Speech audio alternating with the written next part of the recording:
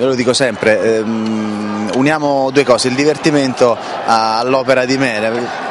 Sono pienamente felice di questa cosa perché eh, il calcio per me è una passione fin da quando ero piccolino e quindi se lo unisco appunto a, a un'azione buona come, come, poi il pubblico ci ha aiutato ad ottenere sono doppiamente contento insomma. Tu giochi abitualmente? Ma ora ultimamente non ho più giocato perché fortunatamente ho lavorato abbastanza, però eh, mi capita di, di, di, allenarmi con la nazionale attori, quindi mm, il mercoledì e il sabato ci ritroviamo e Giacomino Losia ci allena.